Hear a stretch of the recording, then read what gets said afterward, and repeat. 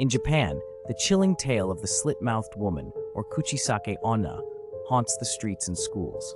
Originating in the Edo period, this urban legend tells of a woman who, after being disfigured by her husband, roams the night with a surgical mask concealing her face.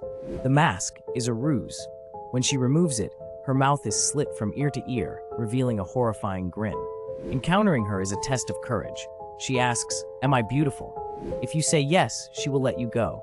But if you say no, she will attack you with scissors. If you hesitate, she may simply kill you. Variations exist. In some, she has a terrifying alternative question that seals your fate. Her legend is often linked to real-life events, including a spate of mysterious disappearances and gruesome murders in urban areas.